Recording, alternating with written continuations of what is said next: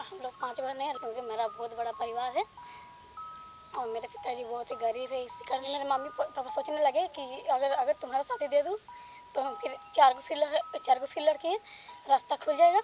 मैं नौ क्लास में जब पढ़ रही थी, अचानक हमको खबर मिली थी कि तुम्हारी शादी पंद्रह अगस्त 2012 को है। उससे हमको अचानक लगा कि मैं मैं अभी जो सपना सोची थी, वो मेरा मतलब ख़त्म हो गया।